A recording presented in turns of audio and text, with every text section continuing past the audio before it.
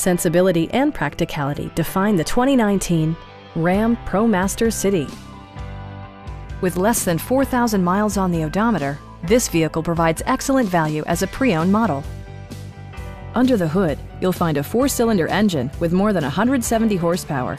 And for added security, Dynamic Stability Control supplements the drivetrain.